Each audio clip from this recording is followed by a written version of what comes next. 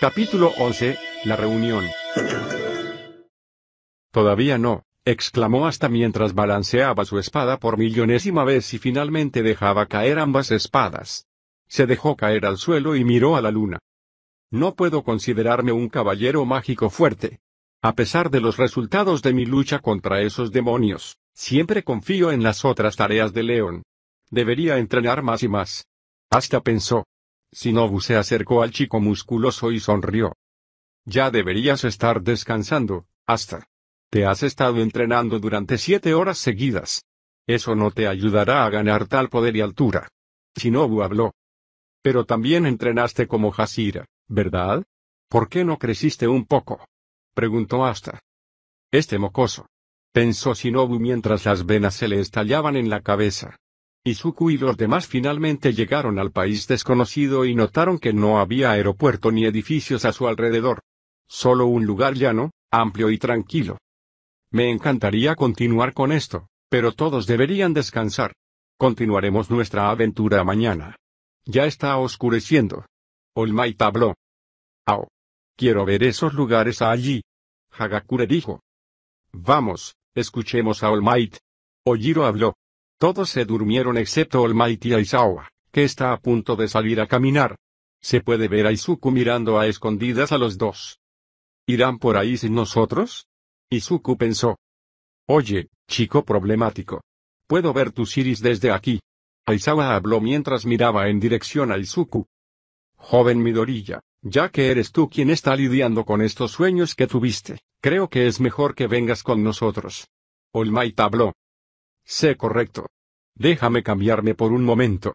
Izuku habló mientras se levantaba y se cambiaba de ropa. Después de cambiarse, caminó hacia la puerta del avión y se preparó afuera de un lugar frío.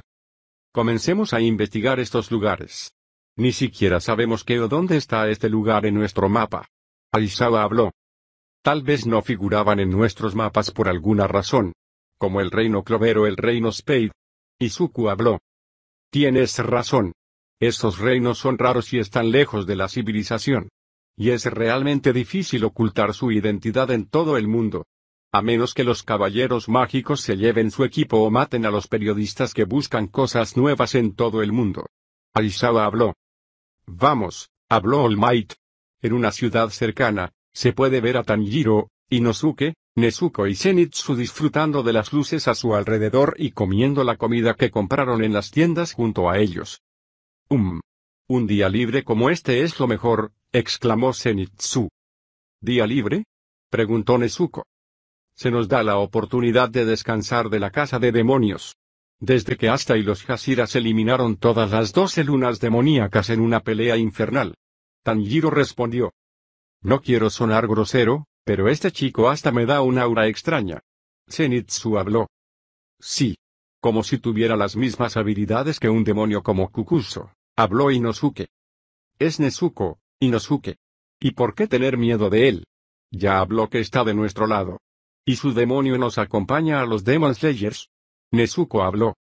Ustedes dos deberían dejar de pensar negativamente sobre él. Simplemente arruinarán nuestra amistad con ellos. Tanjiro habló mientras comía barbacoa. De repente, Izuku y los dos héroes pasaron junto a ellos. Izuku no sabía que acababa de pasar junto al otro niño que vio en su sueño y que no es otro que Tanjiro. Este lugar es tan bueno. All habló. Deja de actuar de forma inmadura, All Might. Vinimos aquí para investigar. Aizawa habló. Solo estoy expresando mis verdaderos pensamientos sobre este lugar. Y me pregunto si puedo usar mi dinero aquí. All habló mientras entraba en un puesto de barbacoa y compraba comida. Izuku miró a Tanjiro y no se dio cuenta. Se dio cuenta de que una sombra que saltaba desde los tejados seguía a su grupo.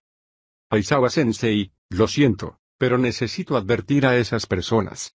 Izuku habló y ahora se topa con ellos. Oye. Midorilla, gritó Aizawa. ¿Dónde está el joven Midorilla? Compré dos barbacoas picantes para él. All Might habló. Escucha, está comenzando a actuar por su cuenta otra vez. Vamos a atraparlo. Aizawa habló y siguió a Izuku. Eh, espera. All habló y ahora sigue a los dos. Fuera de la ciudad, hacia el camino hacia el bosque, Tanjiro y los demás se rieron mientras compartían algunas historias y no notaron una sombra siguiéndolos desde arriba. Oye. Algo te está siguiendo, gritó Izuku. ¿Este tipo nos está gritando? Susurró Zenitsu mientras señalaba a Izuku. Supongo. Cuidado, gritó Tanjiro cuando la sombra que se sabía que era un demonio de repente saltó hacia él y comenzó a mostrar su lengua. Nom, nom. Qué placer para gente como yo. Una vez que te mate, Lord Musan me tratará con más de su sangre. El demonio habló. Tanjiro. Ni-chan. Todos lloraron por la situación de Tanjiro. One for all, Detroit más. Izuku apareció junto al demonio y lo golpeó en la cara, lo suficiente como para enviarlo a estrellarse contra los árboles. Acaba de golpear al demonio, pensó Zenitsu. Ah, increíble. Pronunció Nezuko. Oye. ¿Cómo diablos hiciste eso? Eso no es justo. Inosuke despotrica contra Izuku. Otro. Pronunció el demonio y ahora parpadeó hacia los otros árboles y apareció sobre ellos. Esta vez, te tengo ahora, gritó el demonio. De lavar es más. All Might de la nada golpea al demonio una vez más, pero esta vez, una gran presión de viento azotó todo el lugar. Respiración acuática, cuarta forma, marea golpeadora. Tanjiro remata al demonio con su habilidad y respira con dificultad después de ser asfixiado por el demonio. ¿Eh están todos, verdad? preguntó Izuku. Cuando Tanjiro levanta la cabeza, Izuku recuerda al otro chico de su sueño, el espadachín que se sabe que tiene un poder y una habilidad tan extraordinarios. Lo miró y comenzó a retroceder. ¿Eres tú, Tanjiro? preguntó Izuku. ¿Eh? ¿Cómo supiste mi nombre? preguntó Tanjiro. Yo tenía razón. Él es Tanjiro, el tercer hombre que liderará nuestro ataque pronto. Izuku pensó. Ve bueno, es solo que... Eh. Izuku tartamudeó, pero All Might lo golpeó por detrás. ¿Por qué te escapaste de nosotros, joven Midorilla? Nos hiciste preocuparnos, lo sabes, regañó All Might. Él lo siento. Pero no puedo evitar no ayudarlos después de que una sombra o un demonio los sigue sin que ellos lo sepan. Izuku habló. En realidad, ya sabíamos que un demonio nos estaba siguiendo. Zenitsu habló. ¿Eh? preguntó Izuku. Fingimos reírnos y ponernos con la guardia baja para atraer al demonio que nos sigue. Pero saliste como un chorro y golpeaste ese feo desastre. Zenitsu habló. Oye, oye. Respóndeme. ¿Cuánto poder tienes? ¿Cómo puedes alejar a ese demonio de un solo golpe? Preguntó Inosuke enojado. Ah, la cabeza de jabalí muerto se convirtió en la máscara. Izuku pensó nerviosamente. Entonces, ustedes, niños, son espadachines? Pero, ¿cómo pueden manejar un trabajo como este? preguntó All Might. Porque queremos traer la paz y acabar con el reinado de los demonios en la oscuridad. Tanjiro habló. Nezuko tocó los abdominales de All y lo miró. Eres tan alto y fuerte. ¿Quiénes son ustedes? preguntó Nezuko mientras empujaba. No me conocen, ni siquiera a aquí. Debería explicarnos a ellos de una manera adecuada. All pensó. Ejem. Soy All Might. Un héroe de nuestra casa. All Might habló. ¿Héroe? ¿Qué es eso, una posición? preguntó Inosuke. Están salvando a gente inocente, Inosuke. Lo regañó Zenitsu. All Might. Guau. Nezuko habló. Soy Sota Aizawa, un héroe también como Might aquí. Aizawa habló. ¿Tiene sueño o qué? Los cuatro pensamientos sobre él. Y yo soy Izuku Midorilla. Encantado de conocerte. Izuku habló. ¿Qué eres, un héroe también? preguntó Zenitsu. Héroe en ciernes, interrumpió All Might. Entonces, ¿cómo supiste mi nombre, Izuku? preguntó Tanjiro. Izuku le explicó todas las cosas a Tanjiro y sobre el papel de Asta en el futuro. Mientras tenían una larga conversación, Zenitsu e Inosuke durmieron a un lado mientras Nezuko tenía una conversación. ¿Con All Might y Aizawa? ¿Estamos destinados a ser los salvadores de Asta en su reino? ¿Cómo es eso posible? preguntó Tanjiro. Porque estamos destinados a ser héroes en su mundo, supongo. Izuku habló. En este momento, hasta está en la casa de nuestro compañero Demon Slayer. Y todavía está descansando después de un gran encuentro con los demonios más fuertes en la casa de nuestro maestro. Tanjiro habló. ¿Los demonios más fuertes? ¿Te refieres a esos monstruos que comen humanos? Preguntó Izuku y Tanjiro asintió. Esa lesión tuya es tan genial. Habla Nezuko. ¿Eh? ¿Cómo se volvió genial eso, joven Nezuko? Preguntó All. Genial porque lograste ganar esa pelea y eso simboliza tu valentía y espíritu de lucha, respondió Nezuko. Gracias por el cumplido, joven Nezuko. All habló con los pulgares hacia arriba. ¿Vamos a tirar a estos dos porque ya están durmiendo? Preguntó Aizawa mientras miraba a Zenitsu e Inosuke, quienes estaban durmiendo y roncando. Por favor, Tanjiro. Déjame visitar hasta y contarle todo esto, suplicó Izuku. Bueno, realmente le tengo miedo después de tener tal poder y ese demonio poseído dentro de él, tengo demasiado miedo de iniciar una conversación con él. Tanjiro habló.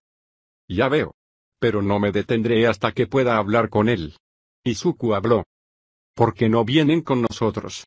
Tenemos un muy buen lugar para dormir. All Might habló. ¿De verdad? preguntó Nezuko con emoción. ¿Todos ustedes? Los llevaré a todos y regresemos. All Might habló y ahora lleva a los niños, incluido a Isawa. Sabes que puedo caminar solo. Aizawa habló en su tono aburrido. No seas tan exigente, Aizawa. Vamos más allá, Plus Ultra. All Might salió disparado a una velocidad supersónica y llegó al avión en solo cinco minutos. Corrió para esconderse y se transformó en su forma normal. ¡Guau! Quiero hacer eso otra vez, exclamó Nezuko. Eso fue genial. Oye, Izuku, ¿qué poderes tienen ustedes? Preguntó Tanjiro. Es más conocido por ser peculiaridades, Tanjiro. Rasgos especiales que recibimos de nuestros padres. Izuku habló. Enfriar. Pronunció Tanjiro. Vamos adentro y tomemos un descanso por esta noche, habló All. Sí. Tanjiro habló. ¿Qué es esta cosa de todos modos? preguntó Nezuko. Esto es lo que llamamos un avión. Un vehículo que se usa para viajar en el cielo. Y para llegar a lugares que los vehículos terrestres no pueden hacer. Izuku habló. ¡Guau! Hay tantas cosas que necesito aprender. Habla Nezuko. Bajen sus voces y elijan su lugar para dormir. Aizawa susurró. Cierto. Los visitantes respondieron y ahora eligieron sus lugares para dormir. Por la mañana, se puede ver a Nezuko durmiendo con All Might y Tanjiro en el suelo, Zenitsu durmiendo con Momo e Inosuke durmiendo con Katsuki. Es hora de despertar, todos, anunció el piloto desde su localizador y todos comenzaron a despertar. Ya. ¿Quién eres tú? Koma preguntó Momo a Zenitsu, quien apoya su cabeza en el hombro de Momo.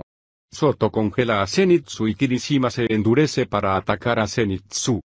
¿Quiénes son estos tipos? Preguntó Denki en estado de shock. Ella es tan linda. Mina susurró sobre una Nezuko dormida. Dame mi teléfono. Debo tomar una foto de ella durmiendo. Es tan linda. Jiro habló y ahora toma una foto de Nezuko. Gaa. Inosuke rugió mientras pateaba a Katsuki, quien le explotó la espalda. Moldita sea. ¿Quién diablos eres tú, moldita bestia? Rugió Katsuki. ¿Qué me hiciste? Enano con aspecto de demonio. Preguntó enojado Inosuke. ¿A quién llamas con aspecto de demonio, eh? Preguntó Katsuki enojado. Silencio. Gritó Aizawa y esto hizo que todos se callaran. Izuku se despierta y ve a todos en conmoción. Chicos, estas personas de aquí son las que vi en mi sueño. Y todas eran reales. Izuku habló. ¿Estas personas? Mina preguntó en estado de shock mientras todos miraban a los recién llegados. Um. Quiero dormir más. Nezuko pronunció mientras dormía cuando su cabeza estaba a punto de caer al suelo, pero Soto la atrapó. Tan bonita. Soto pensó. Zenitsu está a punto de tocar el pecho de Momo, pero Tanjiro lo agarra y se despierta y bosteza. Deja de ser un pervertido, Zenitsu. Pronunció Tanjiro. Sato, Soji, Tokoyami y Zero separaron a Katsuki e Inosuke para evitar que pelearan en el avión. Bastardo. Gritó Katsuki. Ven a mí, cobarde. Koma se burló Inosuke. Inosuke, detente, gritó Tanjiro mientras le daba un cabezazo y lo derribaba. Wow. Lo derribó usando su cabeza. Y no está sangrando. Todos pensaron All Might se despierta y ve que los estudiantes tienen algunos problemas con los recién llegados. Todos, cálmense. Estas personas aquí son las que están en los sueños de Joe y Dorilla. Así que por favor salúdenlos y sean amigos de ellos. All Might habló. ¿Con este pervertido? De ninguna manera. Las chicas persaron en Zenitsu, quien está mirando enojado a Soto, quien deja que Nezuko descanse en su regazo. Tú. ¿Cómo te atreves? Zenitsu pronunció con frialdad. Gracias por cuidar a Nezuko por mí. Tanjiro habló sobre Soto. Oh, no. Solo la salvé de caerse al suelo, así que la dejé dormir en mi regazo. Soto habló. Ya veo. Aún así, gracias. Tanjiro habló. Está bien, todos, ¿puedo llamar su atención? preguntó Izuku. ¿Quién te dijo que actuaras como un líder, Deku? Preguntó enojado Katsuki. ¿Qué pasa, Deku? preguntó Uraraka. ¿Deku? ¿Está un poco lejos de su nombre? preguntó Tanjiro. Deku significa inútil. Lo que significa que es un inútil Katsuki fue detenido por Mineta quien colocó su bola en su boca. Ahora nos hemos reunido con Tanjiro y sus aliados. Quiero pedir su cooperación para ser una persona amigable con nuestra próxima persona a la que conoceremos. Porque escuché de Tanjiro que ha experimentado un pasado tan trágico antes y ahora, él está entrenando solo y ahora descansa después de una pelea con estos monstruos llamados doce lunas demoníacas. Izuku dijo. ¿Doce lunas demoníacas? Entonces, estos demonios son de la luna, Midorilla? preguntó Ida mientras hacía lo de su mano. No, Así es como los llaman. En este momento, Tanjiro puede decirnos el paradero de Asta y quiero que todos sean amigables con él. Izuku habló. Si tú lo dices, entonces lo haremos. Habló Zero. ¿Qué tan aterrador es este tipo Asta? Preguntó Tsuyu. Realmente no da miedo, sus poderes realmente lo hacen parecer una persona aterradora, pero es un buen hombre y un aliado confiable. Tanjiro habló. Pero antes de ir a su casa, todos toman una ducha y desayunan. Momo habló. Sí. Como respondieron todos. SHHH. Despertarás a Nezuko. Izuku habló. Nezuko ahora abre los ojos y ve que todos la miran.